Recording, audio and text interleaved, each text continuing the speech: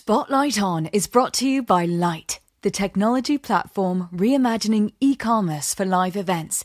You can learn more about Lyte at lyte.com forward slash partnerships. That is L Y T E dot com forward slash partnerships. 30 seconds to respond. 30, 30, 30 seconds to respond with our anti ballistic missile. Hello, and welcome to the final episode of season six of Spotlight On. I'm your host, Lawrence Peryer. This week, the spotlight shines on music marketer Fiona Bloom and the lifetime of work she's done breaking countless artists in the worlds of hip hop, indie rock, and more. From her beginnings as on air radio talent and party promoter in Atlanta to grinding it out in the independent music world of New York City, Fiona's career reflects the results of lots of hustle and lots of flow. I hope you enjoy our talk.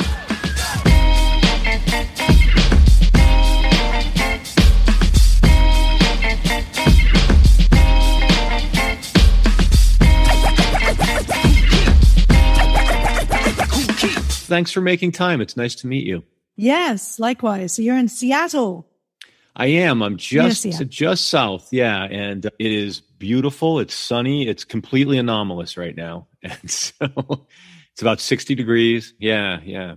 So that's warmer than it is in New York. New York, we're about 52 and it's a little cloudy. The sun is trying so hard to come out, but it's being, uh, taken over by these deep gray clouds. so Yeah. a little yeah. bit dark and gloomy in this area, but that's okay. I love it. While we're on the subject of weather, let me uh, let me ask you because I can't place it. Where are you from? What's your accent? Oh, right. That mystery. Yes. The enigma. I am from London, not Ontario, London, not Canada, but England, London. I have lived in America for about 25 years. Before New York, I was in Atlanta. So of course you can hear the southern twinge and, and then various parts of the world for short amounts of time, like Israel for a little bit and Italy for a few months. But no, but this is, this is just my watered down version of an English accent who's been here too long. So, It reminds me of the uh, the Greenwich accent from the old films. ah, right. Okay. Well, I mean, when I go back to my hometown and I'm back in England, then I've got that real, it's sort of my dad comes from a cockney. He's got the cockney rhyming slang. So he's like, hello, mate. Is it what? Yeah, in it, in it, you know. And my mum's very posh. So I had the best of both worlds. So when I come back to England, it's sort of, you hear a bit of, a bit of both, both, both with the F, both, not B-O-T-H, but both, B-O-F. How Atlanta? How did you end up in Atlanta?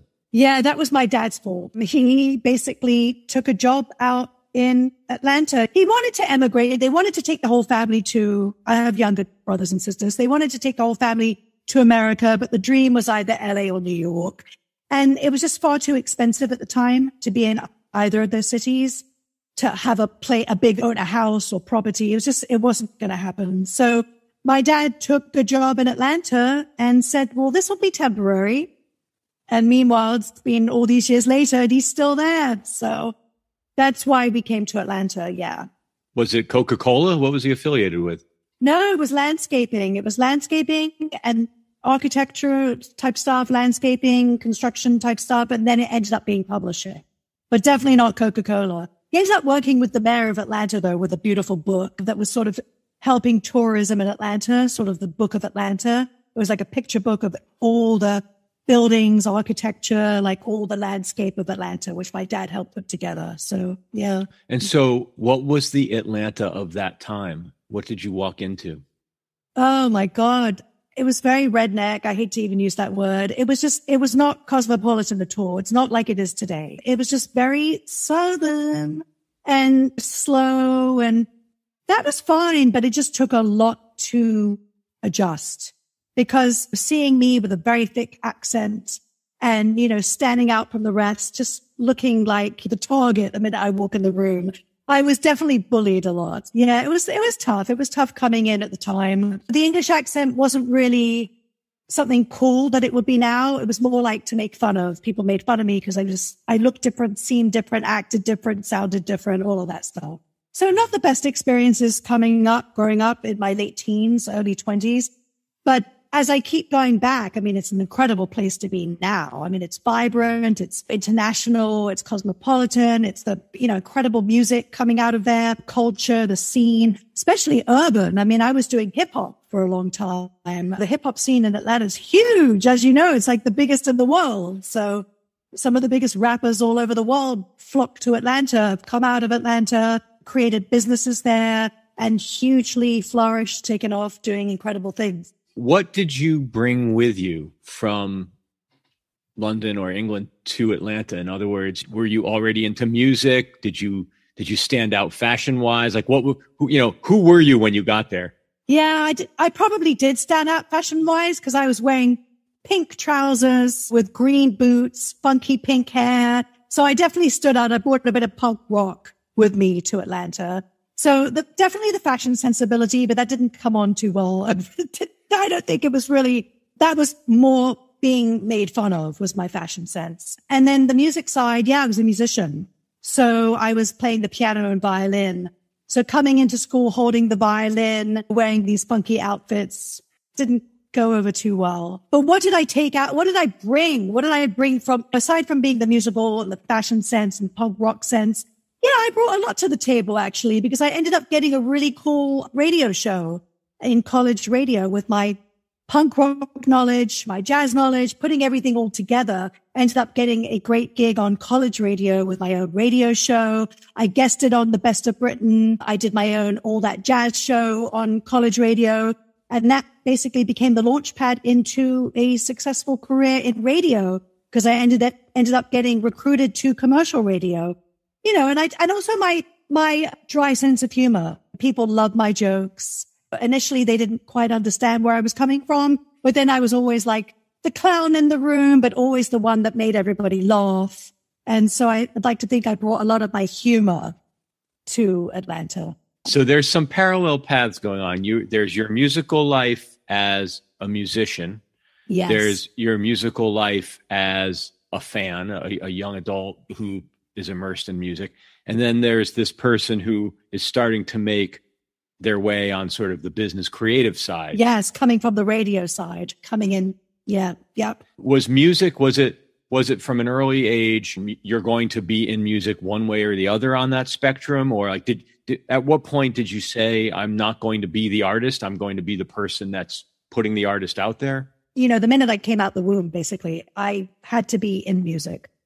At the age of three, four years old, I was already having piano lessons. I took violin lessons at six, seven. And that all started really taking off. But the epiphany, sort of the aha moment when I realized that I wasn't going to really make it as a recording artist or a concert pianist or a famous artist on stage and in front of the camera. The day I realized I was going to be behind the camera was really when my radio career started taking off, when I knew that I just had this affinity for being a voice, not being seen necessarily, but just being the voice, being the recognizable voice and then also helping artists on the other side, like helping discover artists and helping them become famous, giving them the spotlight, shining the mic and the cameras on them, not me. But that this was really where I was going to go. And I was going to end up doing, you know, music industry business somewhere, somehow. Because even in radio, I didn't think of it as business. I still thought of it as being a radio personality and still the talent because you really are the on air talent. But then when I realized radio was short lived, then it occurred to me, okay, I'm really meant to be behind the scenes, at least for now, discovering music, putting artists on, promoting them in every shape, way, fashion that I can. Yeah, yeah. So I discovered all that in Atlanta. Yes. Not to belabor it, but what was the nature of the revelation that you weren't going to be the performing artist? I feel like a lot of people in our business have that moment because they grow up playing and I'm curious to what your version of that is. I was practicing hours and hours and hours a day and it still wasn't good enough. I mean, especially in classical, you have to be great. It's not rock and roll where you could let things slide. You could be a little dusty, be a little dirty, be a little raw. You can't be raw. There's no forgiveness in being a classical pianist, in, in having any mistakes, any kind of raw. It has to be polished. Everything has to be clean, crystalline, polished amazingly 100% or 110%. And I, I would practice seven, eight hours a day and I'd still never reach greatness. I'd still be good, but not the best or better than you were yesterday, but still not good enough and not winning competitions, coming in third, coming in fourth. That's not good enough. You cannot in that business come in third, fourth, fifth. You've got to come in second or really first. And I just knew, okay, I'm not that winner. I'm not going to win these competitions. And it was sad because it was one of those sort of raison d'etre moments where I thought, okay, this is just not meant to be. Like my life is going in another plane, in another place, just doing it differently. But I knew, I knew even then that it had to be something in music, that my life could never leave music. It was always going to have to be that, that shaped me, that's going to continue shaping me, that's going to be me doing this till I die. Had to be music there's some specific attributes or projects or, or moments in your career I want to talk about. And of course, I want to talk about what you do now. But I'd love it if you could take us through the transition period. You know, you said even when you were on air, there's an element of you're the talent. How did you end up fully on the business side? I didn't even want to be in the business side. I didn't even have a thought, a second thought that that's what I wanted to do business. I, I loved radio. I loved being sort of the personality, even if it was not me on camera. I just enjoyed being the personality. I enjoyed coming out and giving speeches. I like to go doing emceeing shows, being the, the master of ceremonies. I just, you know, enjoyed that of being the party hat, being the promoter. So it wasn't really until I lost my gig really on radio, the commercial gig. I ended up getting fired. Crazy story. Don't even know how to go into all the details, but I got fired on commercial radio. And basically my boss at the time said, you'll never find another gig on commercial radio. It's like I'd been blackballed because once you get fired, it just word gets around that you can't work with her. She's not employable. She's not this. She's not that. So it was very difficult to find another commercial radio gig. Definitely not in that market. And it's not like I wanted to move to Birmingham or Tuscaloosa or Charlottesville or anywhere. I mean, it was hard enough being a British voice. This is the early nineties. Hard enough being a British voice being accepted in Georgia and Atlanta, let alone going elsewhere down south, further south. And I knew that East Coast was going to be tough because it's just too much competition. Philly, New York, DC, it's impossible. You know, I had to go to a smaller market. So that wasn't going to happen.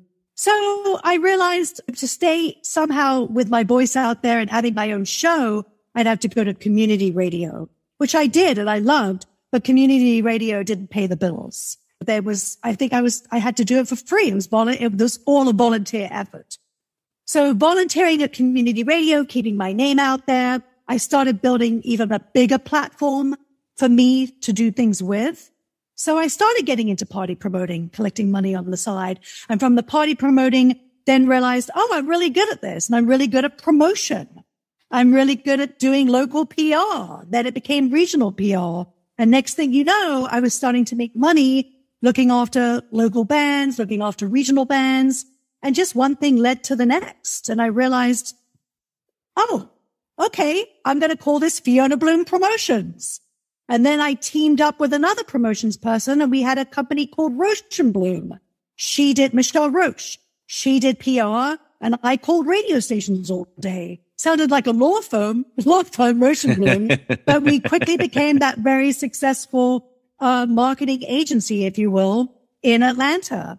And the only reason we stopped doing it was because she ended up getting a national job moving to LA doing PR. And I ended up getting a national job in New York doing marketing. And that's when I moved to New York. She moved to LA and we folded Bloom. But it was from then on, from those days in Atlanta, realizing that I was good at promoting parties, good at getting the word out, good at PR, artist relations. I realized I had a knack for that and a gift of gab and just sort of took that and went with it. What were the kind of artists you were working with in the in the say early mid 90s? Were you coming up at the same time as Atlanta hip hop was emerging? Definitely not. On the cusp because LaFace Records had just started with Babyface and L.A. Reid, so then he had just signed TLC, Damian Dame, Tony Braxton, Outkast, right before I moved to New York. Yes. But Atlanta hip hop certainly was not on the map then. Absolutely not. It was very strip club rap. Like that was the type of rap that was emanating in Atlanta, just the strip club type stuff. before doing the, the hip hop radio station stuff on community radio, when I had Roche and Bloom, I was doing rock and roll. So at the time it was Michelle Malone, who's still going strong. You know, the Indigo Girls, Follow for Now, Drivin' N' Cryin', Five Eight. A lot of the bands from Athens, because the Athens scene was huge. We were doing a few of those bands from Athens. And then, yeah, the rock scene was starting to really thrive. Black Crowes at that point were called Mr. Crowe's Garden. I had seen one of the Black Crowes first shows when they were kind of crap, to be honest. Nobody in their wildest dreams knew that they would ever take off because they weren't very good. and then they changed the name and boom, it just exploded.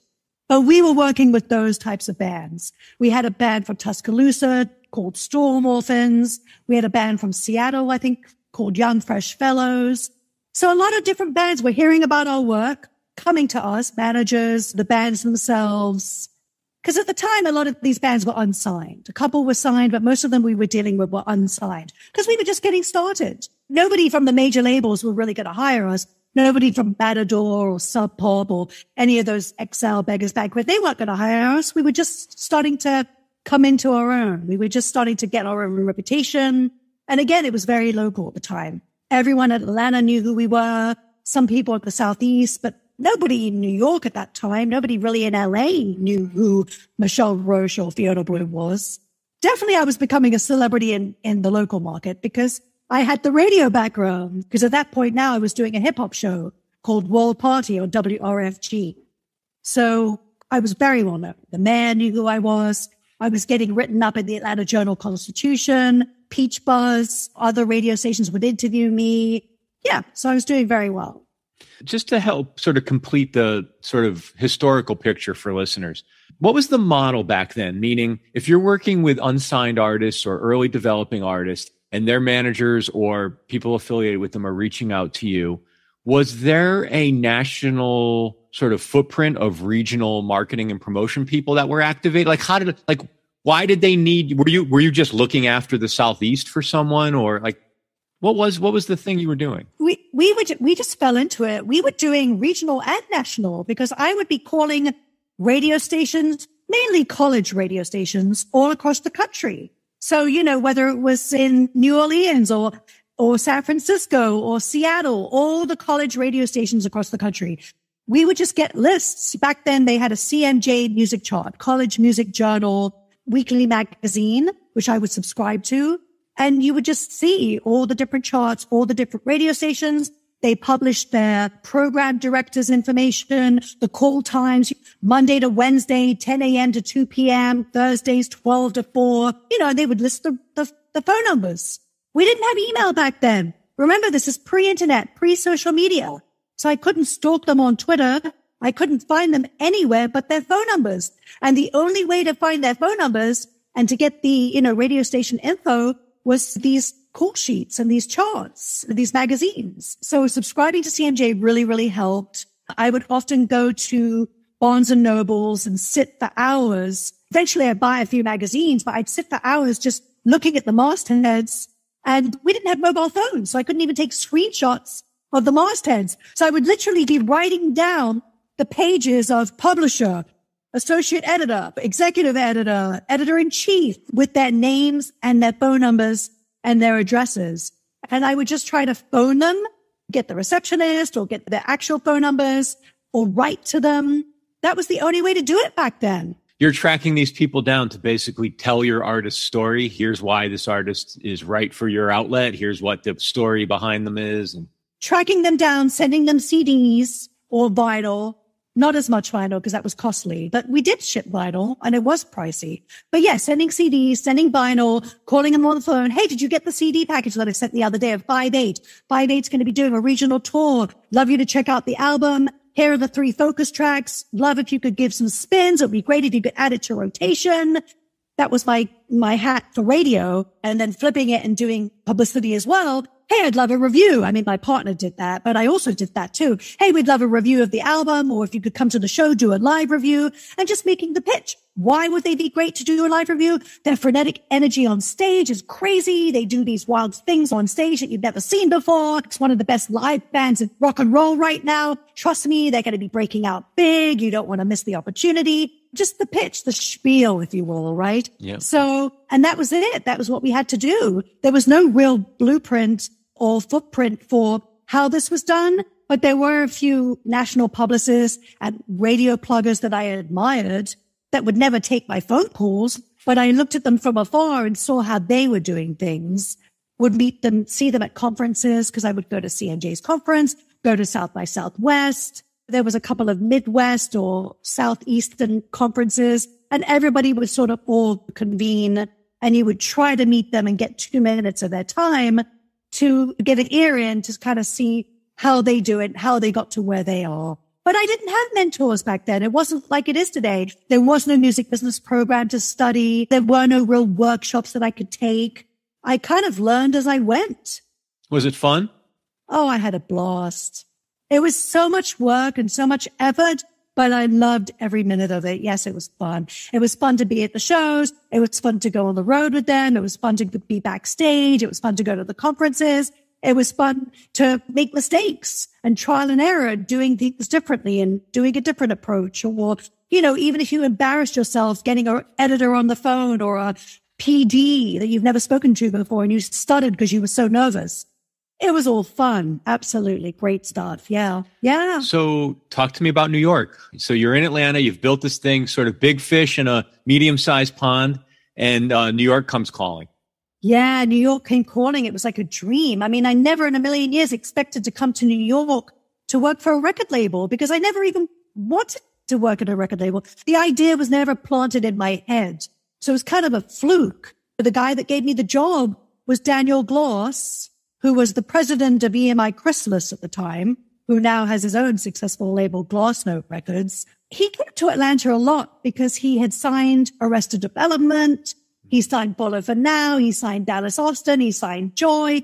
He signed a bunch of rock and hip hop at the time as hip hop was just starting to explode, just on the precipice, you know, really at the beginning stages. So Daniel would just come down to the clubs. He'd come down to meetings. And because I was well known and had my popular radio show, because all the hip hop people knew me and because all the rock and roll people knew me, he would just see me running around in the club and just kind of observed and watched me from afar and finally came up to me and basically was like, we could really use you in New York.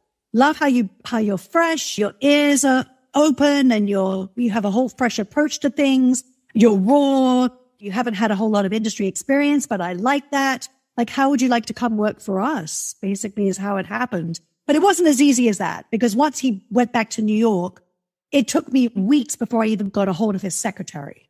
It wasn't until six, eight weeks later that his secretary said, yeah, come up to New York. Let's have an interview. And even that interview process was even a done deal. I had to pay my way to New York. I had a 10 hour interview. And when I came back to Atlanta, I had no idea whether I got the job or not. Even if Daniel had said to me months before, yeah, we'd love to have you here. Love to have you do this new position we'll create for you. That's sort of a street marketing, national micro marketing job, a brand new department. We'd love to have you spearhead it. It wasn't that simple. It took me months before I even got in their ears and eyes, came to New York, came back to Atlanta, had no idea I'd even get offered the job. Finally, two months later, they offered me the job. So that whole process took about six months. Wow.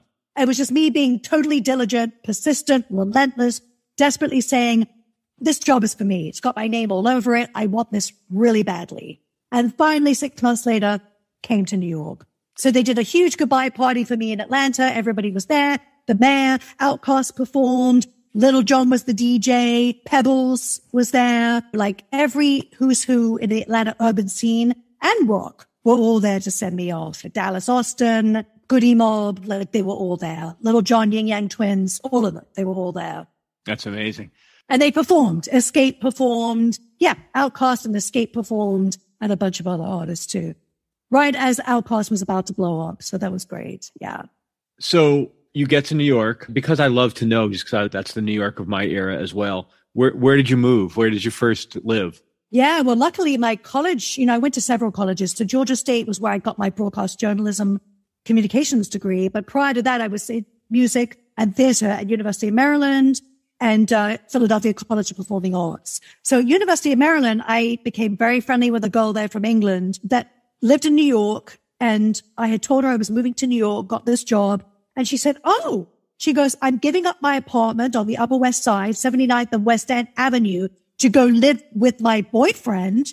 I don't want to give up the apartment altogether. So I'd love you to sublet it. Classic. Classic New York. Classic. Classic New York. So I come up straight away with an apartment, you know, it was fully furnished. I didn't have to really bring in anything. So I put my stuff in storage, came up to New York and lived there for about eight months in beautiful area. Can't get any better than the Upper West Side and so close to 25 blocks away from EMI Chrysalis, which was on uh, 51st and 6th Avenue. So 79th and West End, very short commute. You were so posh right from the very beginning. it's so posh. Well, it, did, it didn't, it didn't end posh, Lawrence. It got, it got really seedy. The, the, the rest of my life, not now, but as I left West Side, it got really seedy and I, I can definitely tell you all about that. But EMI Chrysalis was a tough place to be. Nobody really helped me out there. I sort of went in the deep end with a bunch of sharks everybody really, I felt was, um, not happy to see me there. I felt like there was a lot of jealousy. Like, how did, who is this woman? Like, girl, like, who is this young woman that's got this plush job, great office with a 35th floor with windows all around? Who is this woman that's taken this position, this newly crafted position with like a background of nothing in the record industry that comes from radio party promoting and a little bit of regional PR under her belt. So nobody was really there to help sort of hold my hand or show me the ropes. And Daniel Glass certainly wasn't available for me. It was very tough. I had a tough time. People made it tough for me. We had 9 a.m. meetings in this big conference room, which I was so intimidated. I'd ride the train, sometimes get there at like 9.04 and come in and everybody's already settled in and looking at me like, you're late. Thinking to myself, this is the record industry. Like I thought there was some license here to be three, four minutes late. And a 9 a.m. meeting when you're expected to go out late at night seeing shows or this is entertainment biz. It didn't make sense to me. And it was very hard to go from having flexibility in Atlanta, being a party chick, being out all hours of the night, but still getting work done, but having a very loose schedule to now something that's very, very tight knit, hardcore, very black and white, no gray area. And now realizing that you're going to be penalized for being four minutes late and a conference room full of like 60 people. We're not talking five, 10 people. We're talking 60 people, department heads, all the departments with all the department heads and the president. And, and every now and again, Charles Koppelman would show his face as well. So talk about humiliating, talk about intimidating, talk about nerve wracking, freak out. Like I would just be so nervous on that train, looking at my watch going, I'm bloody late. I'm bloody late. Having heart palpitations. Very stressful, very stressful. Not rock and roll. No, not rock and roll at all. No. And men in suits. Like the people at the company weren't in tats. They weren't pissed. They were all in suits and ties. Not a place I was comfortable in. So that was a short lived job, lasted about 11 and a half months. They basically dissolved my position, fired. I, I hate to use the word fired, but you know, they dissolved my position and it was for the best because I felt like I was shrinking violet. I felt like I couldn't get creative. I couldn't really lend my talents in any of the marketing campaigns. I mean, I did a few cool things there. Don't get me wrong. I did well with the Gang Starr's Hard to Earn record. I did the Solsonics. I was on tour with the Fugees' first national tour because it was Queen Latifah, the Fugees and Solsonics. And I looked after the Solsonics. So I was on the road with them. So got to know the Fugees a little bit. So that was all cool. That was all early 1994. But the rest of it, not so cool. But I did make some really good friends there.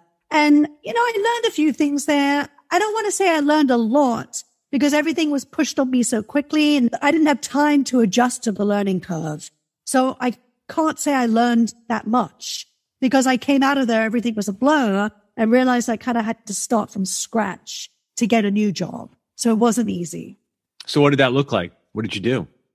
I was temping for a little bit, freaking out because a lot of people thought, are you moving back to Atlanta where you're a celebrity? I'm like, are you kidding me? I, after that big send off, that huge goodbye party less than a year ago, there's no way I could move back there. I'd feel like a freaking failure. Yeah, it's a one way ticket. It, yeah, it was a one way ticket. So I was determined to, to work it out. I was determined to make it in New York, figure it out, work for another record company because I knew I couldn't do radio.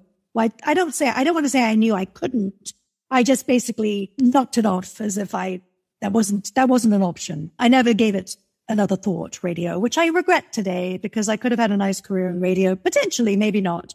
But yeah, so I ended up doing some temp work here and there for about two months, which is really nothing. And luckily, the uh, booking talent by Brownies, which is a very successful oh, rock and roll I lived club. right down the street from Brownies. I lived on East 11th Street at First and Second. God, I spent so many nights at Brownies. So Mike Stuto, who's still around, obviously not brownies or hi-fi, but he sold his, he sold that club and he sold his other club. I'm not sure what he's doing these days, but he, he told me that there's a, a new record company fully funded because the guy comes from Wall Street money and it's an indie rock label and he's looking for a publicist and I'm putting your name in there, Fiona. Just, it's up to you to get the interview and up to you to get the job. So I was like, I, will do it. I love it. I want to do this job you know, even though indie rock really at the time wasn't my passion, because the EMI Chrysalis and coming from hip hop, knowing that I'd done rock early on and I love rock and roll, but I sort of became the hip hop chick. I sort of became the urban, the rap and hip hop and just loving the hip hop culture, loving R&B, loving soul. So when I heard the word indie rock, wasn't really my passion at the time, but I thought I've got to, I, have got to get this gig. I, I don't want to do temp work. I don't want to work for FedEx if I have to, or don't want to be at a, a retail at Macy's. Like I've got to get this job.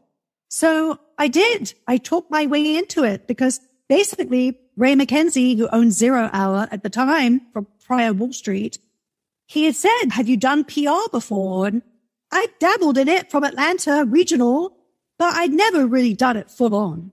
So I said, yeah, yeah, yeah, I've done PR. Absolutely. I've got press in here and I can do that. And I write press releases and I can put spins on stuff. And I guarantee you I'll get you in Rolling Stone and Entertainment Weekly and Pollstar and Newsweek and all these other places for spin, blah, blah, blah. Yeah, I can do it. No problem. So we thought about it and he said, uh, all right, the job's yours. And the rest was history because I ended up putting zero hour on the map in a huge way they did get in People magazine. I did get them in Rolling Stone. I did get them in Entertainment Weekly and Newsweek and New York Times and Spin and Alternative Press, everything you can imagine. I got them in. Zero Hour was like the, one of the most talked about indie rock labels literally overnight. And it got to the point where every major label executive wanted to hire me. They wanted to bring me on to do PR for their record labels. But Ray lied to them and told them that I was under contract. I had no contract with this guy. There was no contract. I was just getting a yearly salary and that was it. So, how did you go from being regional, almost PR person to getting those things done? Was it just sheer force of will and hustle? Force of will and a database because I had no database for national stuff at all. I had a Rolodex, right? Because again, this is the end of 1994 because EMI Chrysalis was, you know, January 1994. I lost the gig in November. So I think I literally started 1995 or I felt like I started zero hour end of, it was either December 1994 or early January 1995. And again, there was really, I can't even remember if we were doing email. We were doing email, but it was sort of like AOL and MindSpring and very early days of online internet anything, right? Very early days. It was happening, but not everyone knew. So we're still very much mailing things out and phone calls and everything else. So I knew I was determined to just get on the phone, get people on the phone. And once I got them on the phone, just get my stuff resonated and convince them just to cover my thesis. And I knew I had the will. It was the force of will, force of nature. And luckily the database was already there because they did have a PR person that was sort of part time that was doing work for them or on a sort of a freelance basis called Nicole Blackman, who became a successful poet. um, spoken word artist, poet. She had that national database and allowed me to use it. And it was from then on that I would just update as I went, but I had something that I could use to grow on, to grow with. I got lucky with that. So, and yeah, just broke down barriers. I got through walls and I just, through re- being relentless, being persistent, just really just got into the ears and eyes of every journalist, every writer, every editor, every TV produced talent booker on the planet. Yeah, just with a lot of hard work, but I managed. So behind you is some artwork for one of my favorite artists, MF Doom. How did you end up back in hip hop? So yeah, I brought MF Doom. Well, I, can't take all the credit for signing MF Doom, but I put MF Doom on the map. I, we put out his records, Operation Doomsday and KMD's Black Bastards in 2000. So after zero hour, well, I shouldn't say after zero hour, my, passion always stayed in hip hop, even working through all the indie rock. And I started loving indie rock again. I had some great releases. I had the Notwist. I had the Dirt Merchants. I had Varnaline. I had Space Needle. I had Swervedriver. A few other bands we were going after, like Tool. We didn't get Tool, unfortunately, but there was a few other bands we were courting. And I fell in love with rock and roll. I mean, I never left rock and roll. I love rock and roll, but I fell in love with the style and genre again. So when I put Zero Hour on the map, I got back in touch with Daniel Glass because he started a company with Doug Morris called Rising Tide. And they were looking to acquire small labels. They were looking to invest. So I called up Daniel. I said, Daniel, remember me? He's like, of course I don't remember you. I brought you to New York. And we stayed in touch a little bit. But I said, Daniel, you need to see what we're doing at Zero Hour. It's something quite brilliant. I definitely feel like with some funding, we can take it even further. We've got it. We're like an incubator. There's artists we're going after that we want to sign that we don't have all the funds or the resources for. But if we do work with you and Doug Morris with Rising Tide, it would be endless, endless possibilities. So Daniel came in, met with my boss. They sat behind closed doors for hours and they ended up doing a multi-million dollar deal, which I instigated. I really got nothing out of that because again, I wasn't the most business savvy. I didn't have contracts and my boss was like, you're the, you're amazing. What do you want? So he gave me a seven grand bonus, which is nothing considering the multi millions of dollars that they signed. And I said, well, you know what I'd love to do? I said, I'd love my own record label. I'd love a hip hop label. I'd love to start my own hip hop label.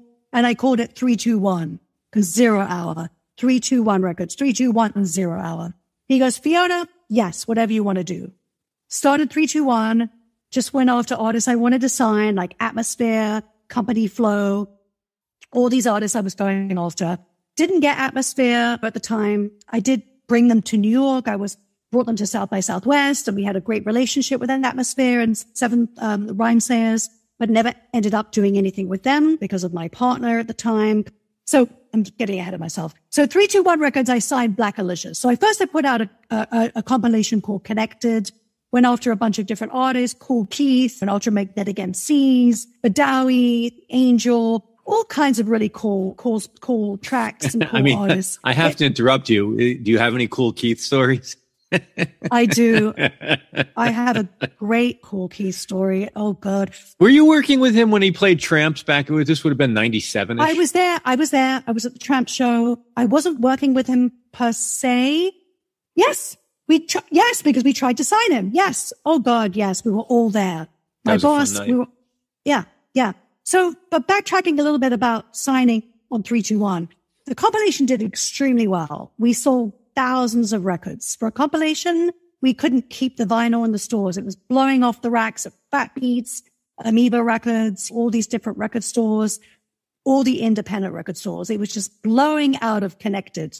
Anyway, so I, because I put the new Blackalicious track on there, Blackalicious was so impressed with how I promoted connected and how much buzz I got from that album. Tons of reviews everywhere, tons of promotion, marketing, branding. Everything was in place for that record. They were so impressed that I ended up flying out to Oakland to offer them a recording contract and they signed. And we put out two of their records, A to G with Cut Chemist remix and Nia, the album. And that's how I got back into hip hop. So when Zero Hour ended up folding because they actually blew through a ton of money and Daniel Glass and Doug Morris at the time basically defunded us. They said, we're not going to put in any more money into Zero Hour. They basically pulled the plug. And when they pulled the plug on Zero Hour, they pulled the plug on 321. Even though we were the one making all the money, Zero Hour wasn't really making money. 321 was bringing in all the revenue because I had signed Skeme Team, Pumpkinhead with word of mouth. We had Blackalicious doing really well. We had the Connected album doing really well. I'm about to sign all these other artists. Things were going really, really well for 321. But on the other part of it, Zero Hour wasn't doing so well. So yeah, we were pulled the plug on, which was a crazy time in my life. I ended up getting really sick. I had to go to hospital because there was so much stress put on me with all the rappers that I'd signed and left them high and dry. Blackalicious were on tour at the time. We owed them money with their mastering hadn't been paid. Studio fees hadn't been paid. They were supposed to get a bunch of tour support hadn't been paid. They threw me a bill with $75,000 that I owed them, not me, because I wasn't the one funding them. It was my boss and a zero hour. So it put a lot of pressure on me. I ended up getting a tumor and being in hospital. So when I came out of the hospital, I started a brand new label called Subverse. And I started it with a partner that was Big Just from Company Flow mm-hmm. and another Wall Street guy called Peter Lupoff.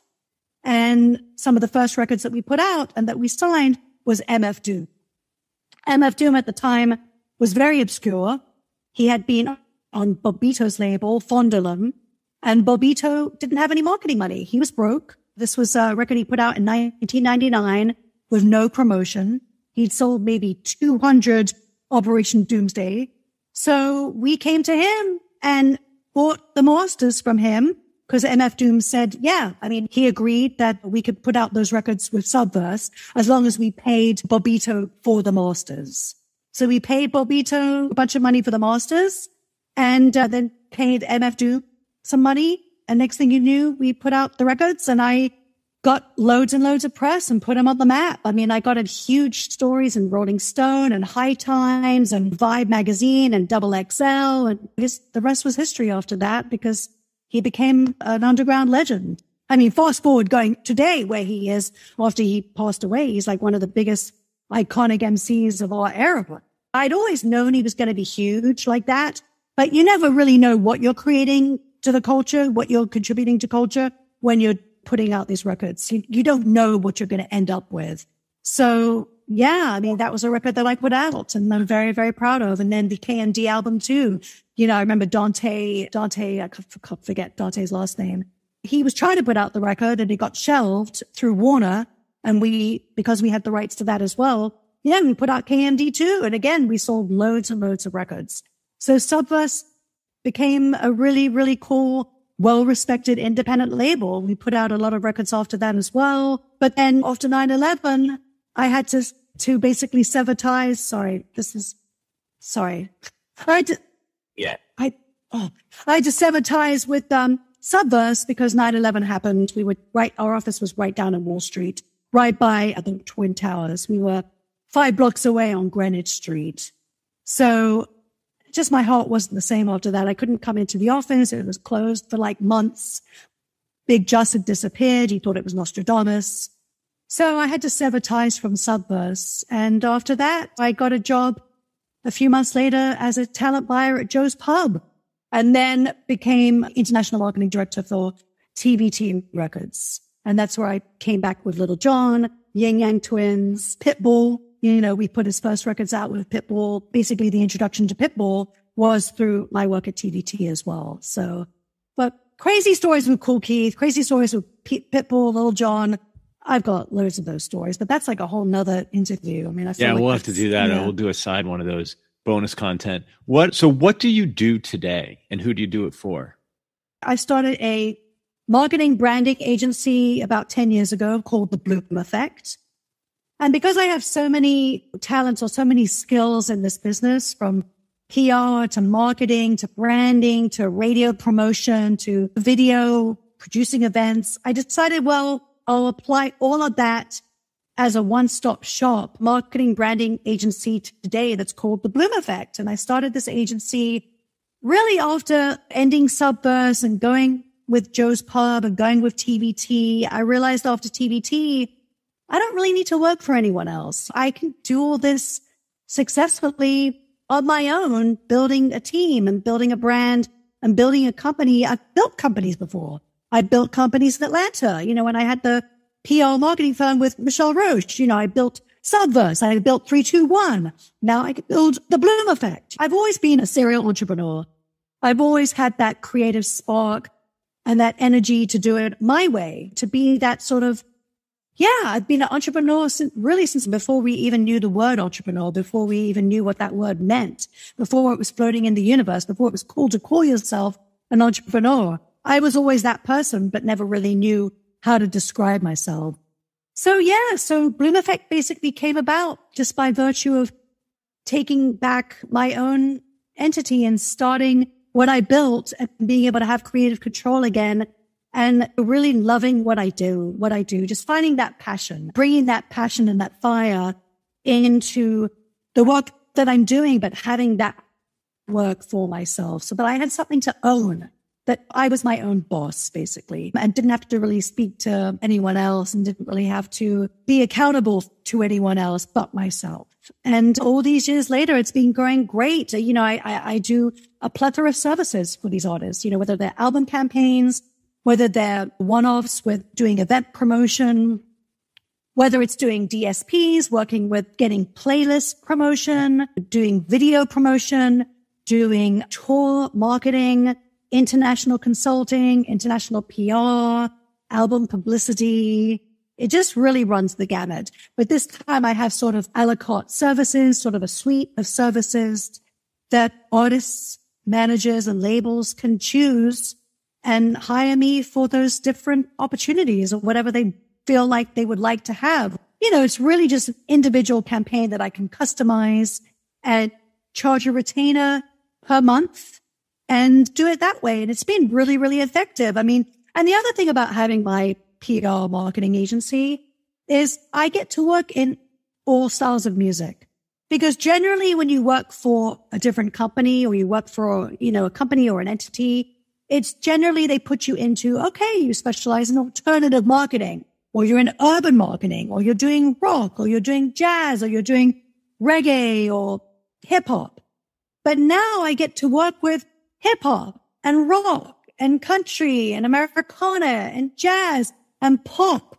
So I get to have my clients that are Tower of Power and the Zombies and Simple Minds and a band from Australia called Wanderers and a folk roots group artist called Bruce Sudano and a pop artist called AJ Smith and a jazz group called Lowdown Brass Band, Stefan Rebel you know, have all types of music because for me, it's always been about two genres, good and bad. But just like Ellington said, you know, there's only two types of music, but I work with the good.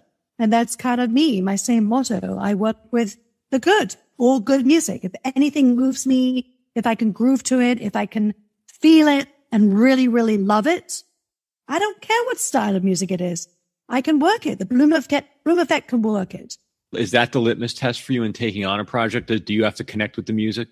100% I have to connect with it. I mean, if I don't love it, if I don't, if I don't want to listen to it when I'm done with work, if I can't put it on in the background when I'm cooking or when I want to go dancing or if I'm in my car or wherever I am, if I can't listen to it myself personally, I don't want to work with it. It's got to be something that I'm 100% sold on. Yes. Yeah.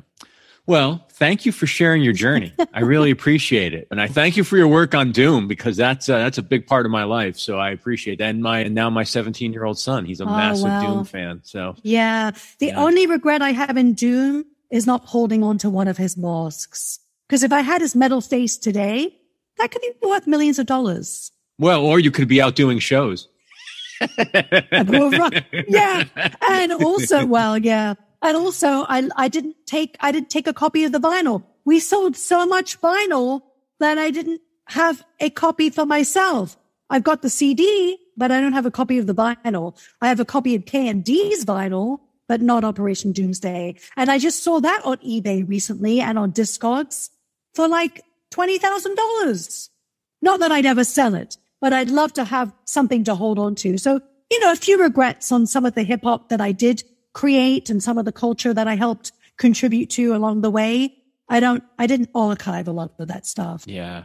I think people forget though, 20, 25 years ago, hip hop was still really ephemeral. There was, there was I, this idea that every six or 12 months, the style changed, the look changed. Like hip hop was so dynamic for so long that there was no sense of history really until really it's only been what, 15 years or so that people have really gone back and acknowledged the golden age and then all the, the underground stuff from the 90s. So I, I don't, I, I could see why you didn't because people weren't thinking that way back then. I guess, but there's a lot of people that I know, a lot of my peers that did hold on to every flyer, every graphic, every poster, CDs, vinyl. A lot of people back then did. And I just, sadly, I didn't. And wow. anyway, but that's, yeah, but I, but I have great stories. A lot of them are still in my mind, like that Kool Keith story.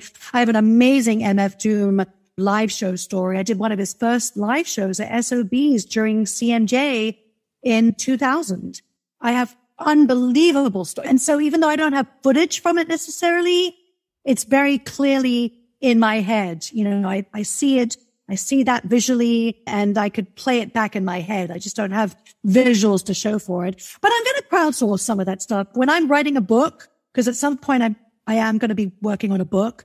I am going to crowdsource and put it out on Facebook or put it out in a, in a chat somewhere, open it up to people to see if people did take video, did take pictures. Were there photographers back then? Were there videographers? Because I definitely remember that there were some in the room at SOBs, at downtime, downtown, the venue there, Mercury Lounge, Tramps, Knitting Factory. I definitely know that were people taking pictures and those were my shows. So I definitely have to do some research. I'm going to have to hire some people to do it for me but I definitely know there's something out there. So it's a big work in progress. It's going to take a lot of time to compile everything, but it's definitely on my bucket list of what I need to accomplish in the next 10 years. Everyone keeps saying, when is the book coming? When is the book coming?